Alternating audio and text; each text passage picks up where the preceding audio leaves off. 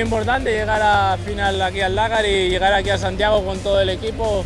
La verdad que nos sentimos muy contentos. Eh, creo que hemos hecho muy buena carrera y, e hay que estar contentos.